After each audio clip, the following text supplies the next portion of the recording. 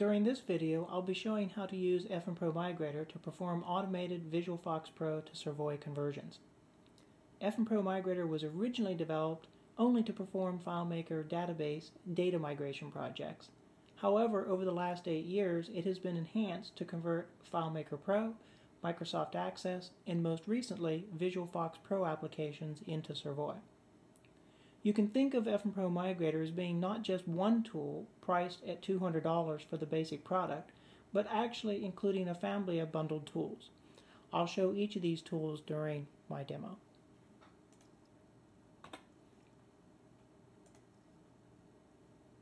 First of all, I'm going to show a sample Visual FoxPro form, which has a variety of objects on it for testing the conversion process. So here we have a text label with a specific font size and color, rectangle object, image objects, line object.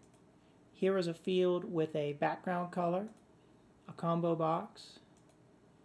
Here is a container object. There are shape objects on the form, as well as a grid object, which will be converted into a FileMaker portal, as well as a page frame object, which will be converted into a Servoy tab panel. The first step in the conversion process is to run the included VFP export utility. So what I do is I select the PGX file for the FoxPro project, click the export button. The metadata for the project will be exported into the VFP export.dbf file within the same directory as the PGX file.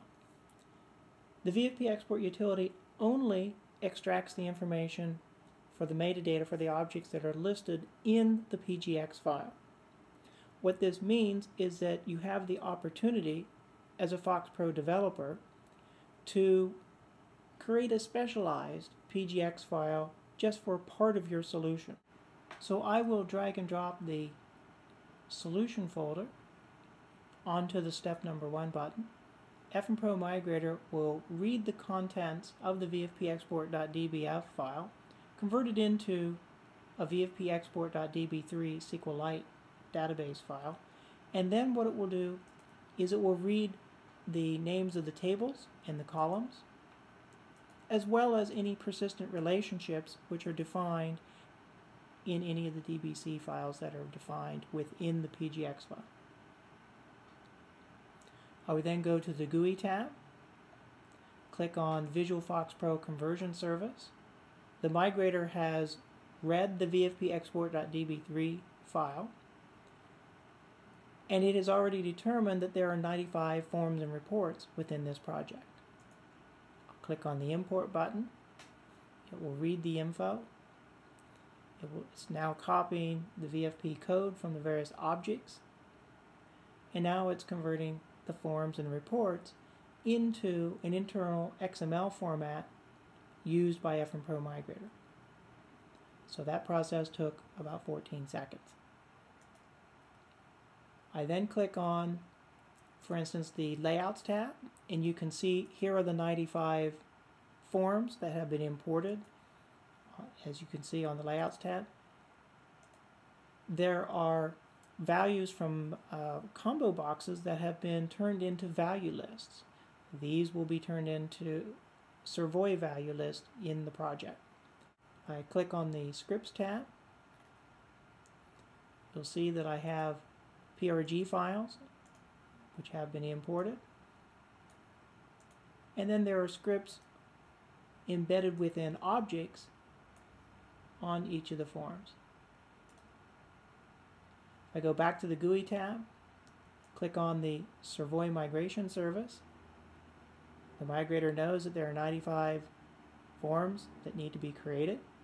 I've already previously created this project, the VFP solution project, in Servoy. I've already created a database connection and I have selected the directory within the workspace where the project resides. Go to click on the migrate button. The scripts are being copied. The layouts are being converted. And that whole process took about 10 seconds. So within the last approximately 30 seconds, we've basically done the equivalent of about 200 hours worth of work if we were to do it manually. If you figure that it takes approximately two hours to manually recreate each form from FoxPro and create it in Servoy. Now let's take a look at the Servoy project. Here you can see I have the media objects on the left hand side, the value lists, and the relationships. On the left hand side you see the forms which have been converted. Let's go ahead and run this project within the Smart Client. And you see that I immediately have data showing up within the Smart Client. This data is coming directly from the original DBF files for the project. What I did is I simply created a JDBC connection to the original DBF files using the provided JDBC driver from Servoy. This way you can actually web enable an existing FoxPro desktop application, continue using your original DBF files, and let Servoy use those same DBF files in order to web enable part of your solution. Now if I scroll down, you'll see that I have the converted grid object, which is now a portal in Servoy, and you notice that there are related records that are showing up based upon the relationship which was converted. We have a converted page frame object at the bottom of the form, you can see the objects that we saw in FoxPro that have been converted over. And we even have an embedded page frame object, which has been converted into a tab panel within a tab panel. And you see the enclosed objects which have been converted. I can start up the web client. And I basically have the same functionality for the most part in terms of viewing the records, clicking a pull down menu, clicking on page frames. One of the questions which FoxPro developers have asked about is how can I convert my menus from Fox Pro into Servoy? Menus in Servoy are defined in JavaScript. So you can have two different types of menus. You can have an application menu, which will only work within the Servoy Smart Client, or you can have pop-up menus which work in either the smart client or the web client.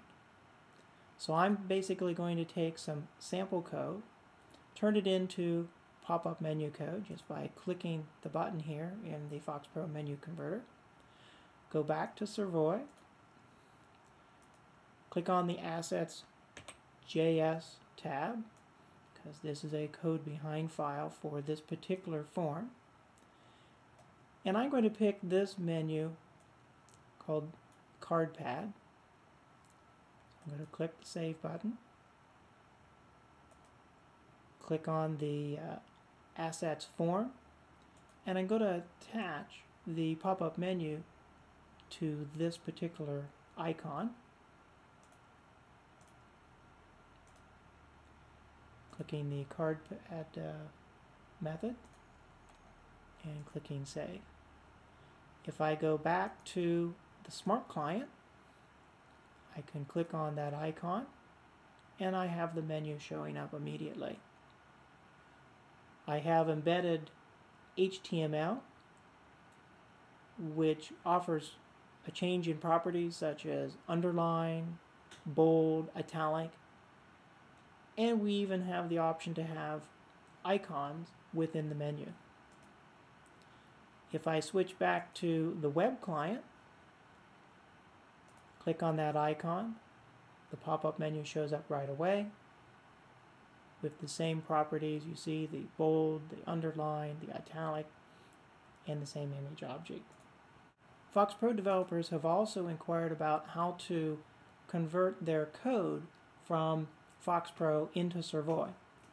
Well, let's just take a look at what would happen if we copied a block of code and just pasted it directly from FoxPro into Servoy. I'm going to go click on the Globals JS tab, click Save. I've pasted in almost 750 lines of code, and this is code that's straight from FoxPro. And you see I've got almost 500 errors. Well, this is to be expected because you would not expect Servoy to be able to execute FoxPro code.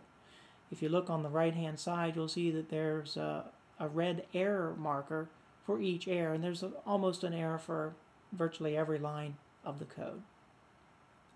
If I come back to the code converter tool, click the convert button, the code has been converted and put onto the clipboard. I'll go back to Servoy, copy and paste, and save. And now we're down to two errors. I'm going to click on the red marker here on the right hand side. I'm just going to comment out this particular line. Then I'm going to go back to the bottom of the screen, hit a return and save, and now we have zero syntax errors in this large block of code. Now this does not mean to say that this code is going to be 100% functional uh, in Servoy. Basically this tool is designed to quickly do a lot of manual changes that you would normally have to type. You'll still have to do some thinking and planning and looking at the instructions which could not be converted. One of the very helpful features of this tool is the stats. So for instance, in this code that we just converted, 94% of the lines of code were converted. 22% of the lines of code were blank lines. So those were just copied over. There wasn't anything that needed to be done. 14% of the lines of code were comments. So the comment character here at the left-hand side of the line was converted into a JavaScript comment character. 12% of the lines of code were determined to be unsupported. And if I scroll down, I have a detailed listing of the number of occurrences of these unsupported keywords. These keywords have been determined to be ones which do not really make sense within the context, context of a server-based development environment. Many of these commands are very FoxPro specific or maybe even operating system specific. 5% of the lines of code were unprocessed, and the list of unprocessed keywords is listed. Now these are lines of code for which a FoxPro keyword could not be found, so therefore maybe they are function calls that might actually be executable. These lines of code were not commented out, they were copied straight over into Servoy and a semicolon was added to the end of the line. So I uh, showed in my demo how to do a static capture of metadata from the FoxPro project. What I did not show was the runtime metadata capturing process. During the development of this automated FoxPro conversion process, it has become evident that there are object properties which are either inherited or only set programmatically at runtime. Therefore, this runtime metadata capturing process has been developed in order to solve this particular problem. What you do is you add the VFP export utility, which is a compiled FoxPro application. You add this utility to your FoxPro application. You add startup code to your app and build your FoxPro application and run it. One second after each form is open on the screen, the properties of each form object are captured into memory. Upon application shutdown, this new information is used to update the existing records within the VFP export.dbf file.